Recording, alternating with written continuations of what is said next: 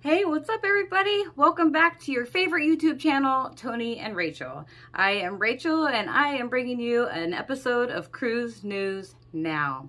So, first of all, happy September 1st. I can't believe that September is already here. This year has flown by.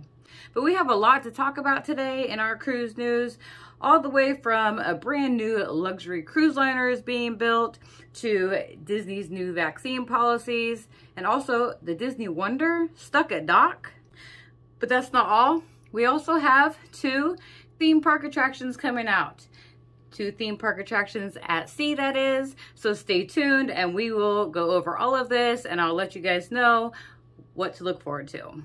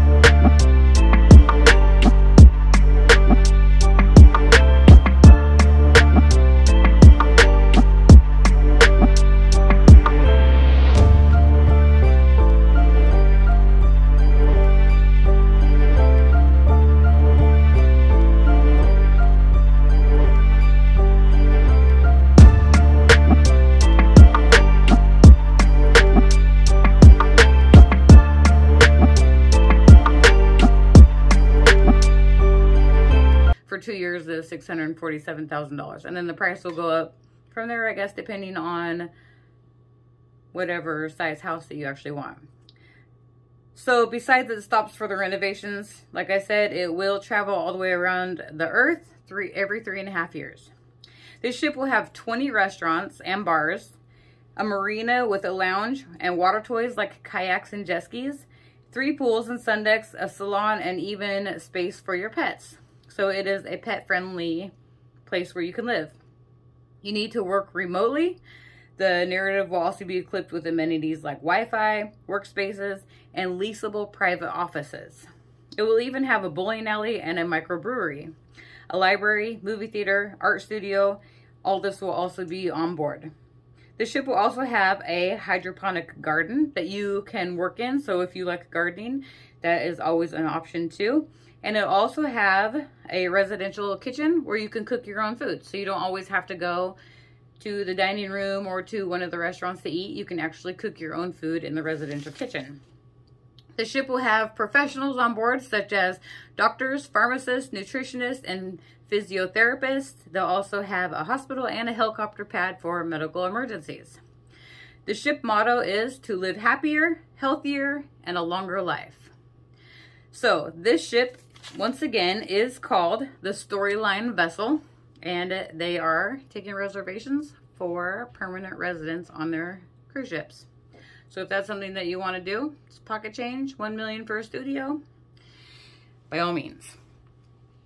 All right, so let's get on to our second bit of cruise news. Uh, Disney Cruise Lines has new vaccine policies that are going into effect September 23rd.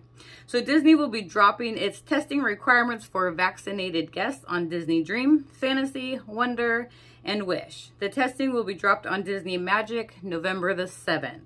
On those same dates, unvaccinated guests will no longer be required to have a second COVID-19 test done at the terminal. So whereas they had to test negative and then have it done again, they'll no longer have to have the second one done.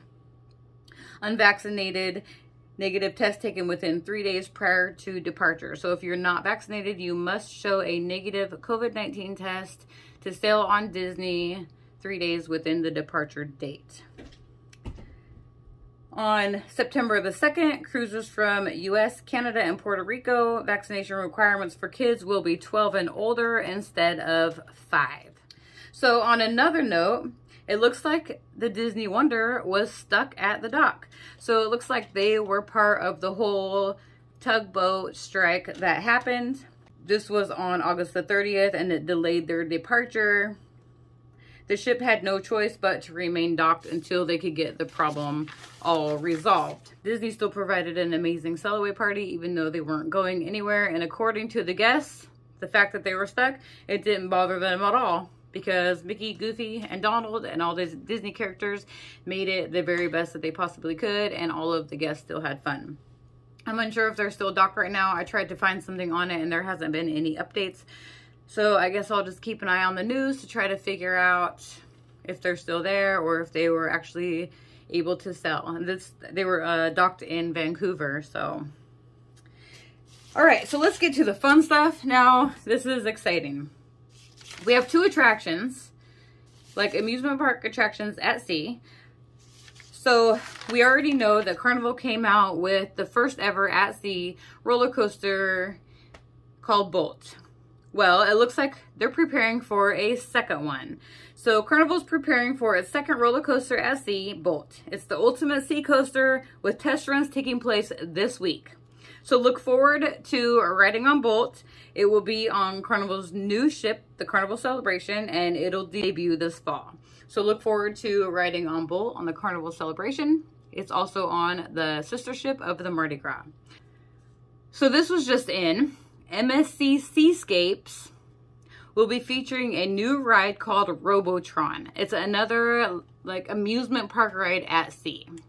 It will debut this December it's a top deck attraction with a robotic arm attached to a gondola that'll seat three guests. Your guests will be flying 175 feet above sea level and riders will get a 360 degree view as they are flipped upside down and hang over the side of the deck.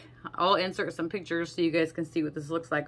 The ride also has a custom customizable thrill level, so you can customize it however you want. And Robotron will also act as a DJ playing music and flashing all kinds of lights. So if you're planning on going on MSC this December, it's the MSC Seascape, I believe. Yep, MSC Seascape. They are putting on their Robotron, so look forward to that this December. It looks like it'll be a lot of fun.